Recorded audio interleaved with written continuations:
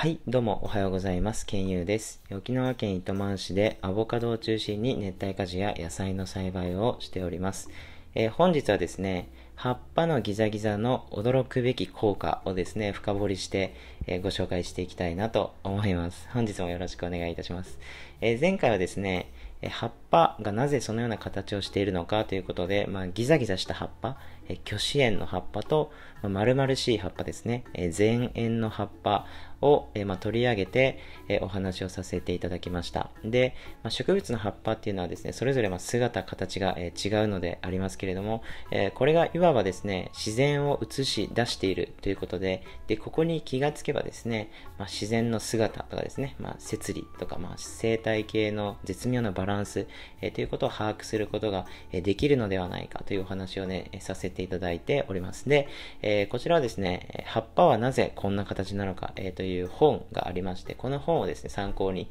お話をさせていただいております。はい。で、えー、前回はですね、あの寒い地域、寒い地域では、えー、虚子園を持った葉っぱ、まあ、ギザギザした葉っぱがものすごく多いということをお話しさせていただきました。で、この理由はですね、もしかしたらその光合成の効率を高めるために葉っぱの形を変えたのではないかという考察が本書の中でなされていたんですけれども、今回はそういったギザギザした葉っぱの挙手への理由について深く考えていきたいなと思います。え本日もよろしくお願いいたします。でえ、歯の縁がですね、ギザギザしている巨子園の葉っぱですけれども、えその理由は、まあ、以下3つ、えー、挙げられると思います。1つ目、え草食動物から身を守るため。で、え2つ目、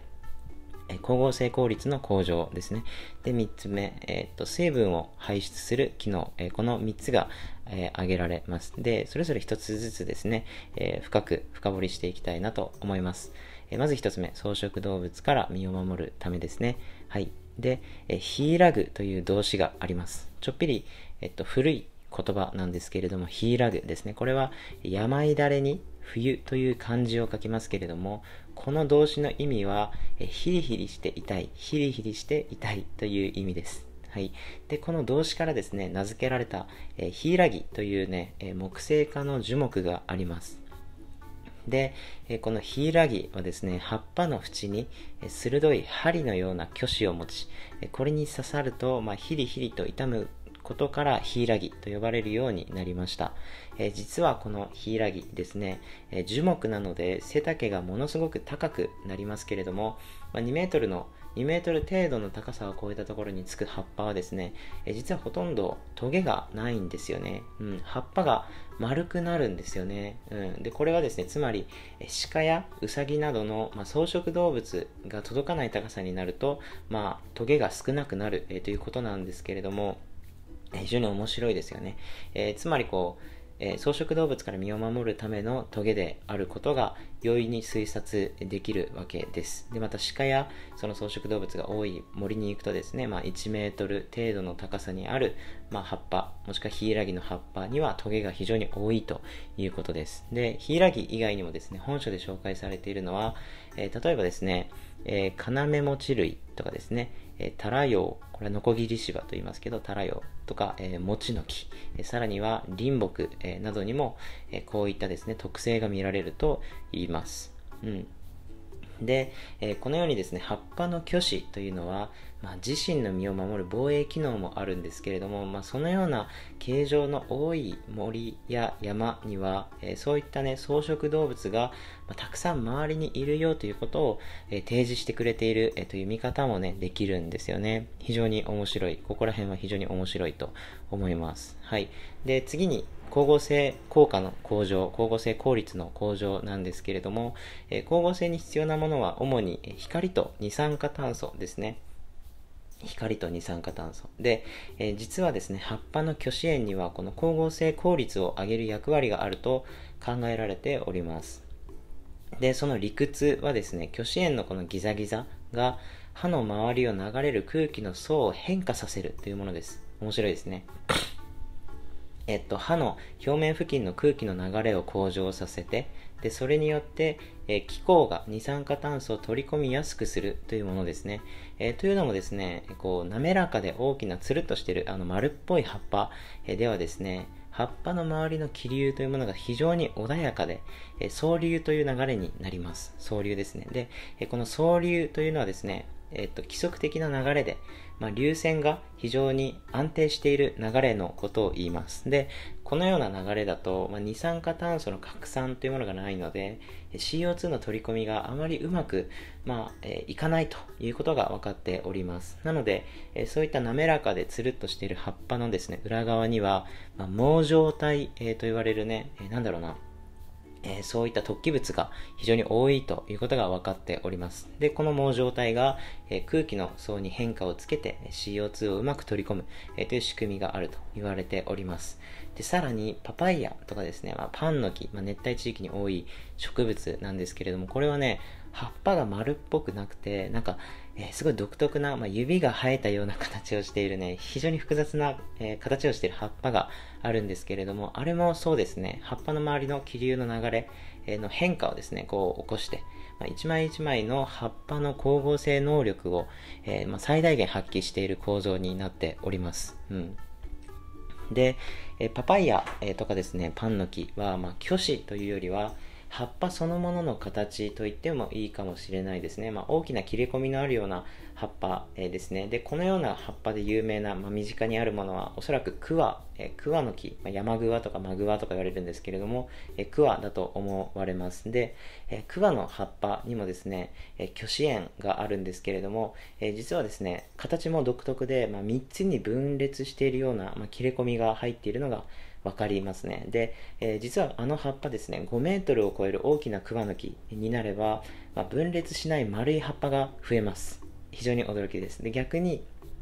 1メートル以下の小さな木になる葉っぱというものは分裂が激しくですね、えー、丸とは程遠いほど、まあ、深く複雑な、え、いびつな分裂をしている葉っぱが多く見られます。で、これもですね、木が小さい時に葉っぱの形を複雑にしておいた方が、まあ、メリットが大きいんですね。えー、本書で紹介されているのは以下3つですね、えー、重なり合う葉っぱの下の方にも光が入る。そしてもう1つ目、えー、葉の周囲の空気の層に変化を起こす。で、3番目、え強風で葉っぱが破れるのを防ぐために切り込みで風を逃がす、えー、ということですね、えー、このようになっているわけです。非常に納得です。で、えー、幼い木、これ幼木と言いますけれども、幼木で切り込みが強い葉っぱというのはですね、他にも、え桑のえ葉っぱ以外に、え隠れ実のとかですね、カジの実とか、あカジの木ですね、え油切り、え売り買えで、まあ、木いちご、えぶどう、えとかですね、こう本書で多くの種類が紹介されていたんですけれども、まあ、代表的なものを、え抜粋すると、え以下のようになっております。はい。えー、面白いですね。こう、やっぱりこう、幼木の時にはですね、葉っぱにこううまく光が、え当たるかどうか、まあ、葉っぱに光が当たるのがすごく大事なので、え丸い葉っぱではなくて、ああいう風にすごい複雑な形をするとですね、え下の方にもやっぱ光が入るんですよね。面白い。で、えー、強風でか、えー、葉っぱが破れるのを防ぐっていうのはですね、えー、なんだろうな、バナナとか芭蕉などの葉っぱも、えそういった類の、構造なんじゃないかなと思います。で、バナナとか芭蕉とかですね、もともとは大きな一枚の葉っぱなんですよ。で、あれはですね、強風で転倒を防ぐために風圧をもろに葉っぱで受けないように葉っぱが避けるような構造になっております。うん。なので、こう、風を逃がすというのをですね、葉っぱの構造上大事な役割だったり、するのではないかなと、考えております。で、もう一つ最後の理由ですね。水分の排出、そして、まあ、胃液という話までしていきたいと思います。で、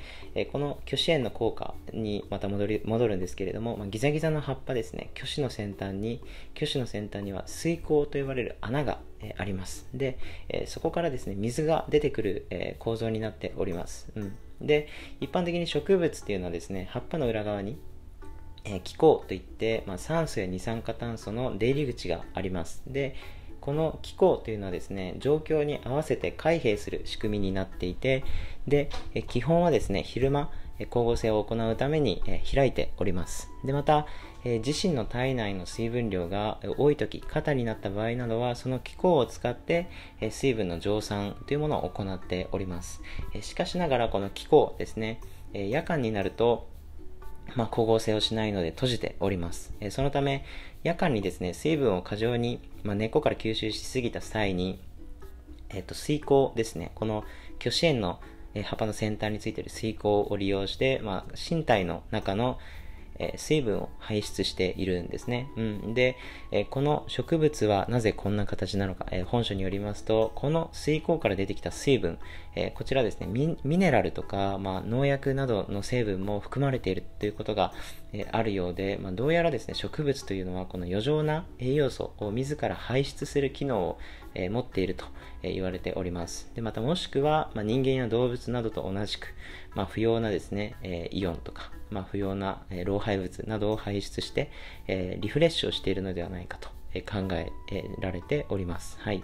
で、またこれはですね、湿地などの水が豊富な環境に生育する植物で起こりやすいということがありますので、そのそのような植物がどのような環境で育っているのかというのも葉っぱを見てわかるということになっております。はい。